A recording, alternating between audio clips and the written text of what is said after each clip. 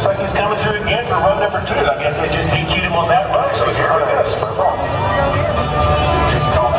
All right, here he comes into the course one more time. Juan Velarde. He has finished. He has figured out the chicane. Better entry into gate number three this time. Much better entry. He's looking pretty good. Two tenths off the pace.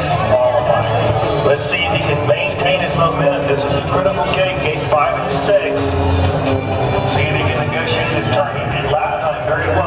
to. Oh my goodness, it'll be close. But he seems to have it no problem. Okay, one more round to the chicane. This is tougher because you're slower. You don't have the benefit of that extra airspeed that helps you through knife edge.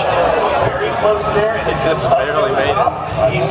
He appears to be no. No, no, he's out. And a pylon hit to boot right there. Oh man, uh, Mike, I'm a wagering type two, and I was going to throw one out there for one of the later aviators.